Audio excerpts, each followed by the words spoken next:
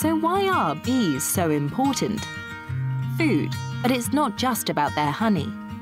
Pollinators like bees are critical for pollinating plants that produce 90% of the world's food, everything from strawberries to cucumbers. The world would also be a less colourful place without them. Their pollination helps to preserve biodiversity, allowing trees and flowers to reproduce, maintaining the wild habitats which serve as food and shelter to animals and creatures. Bees are also an important indicator of the health of our environment, acting like mini surveyors. Their sensitivity to environmental change and ability to travel large distances away from their hives makes them ideal indicators of the health of their ecosystems.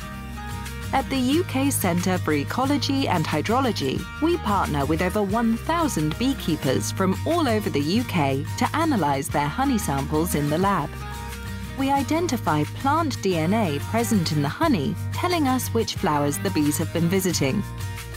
Over time, we can use this to build up a picture of long-term changes in the condition and health of the countryside.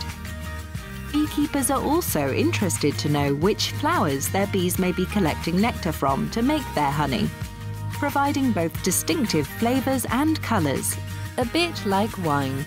Together, this unique partnership between beekeepers, scientists and bee surveyors is allowing us to better monitor our environment and discover the secret world of bees.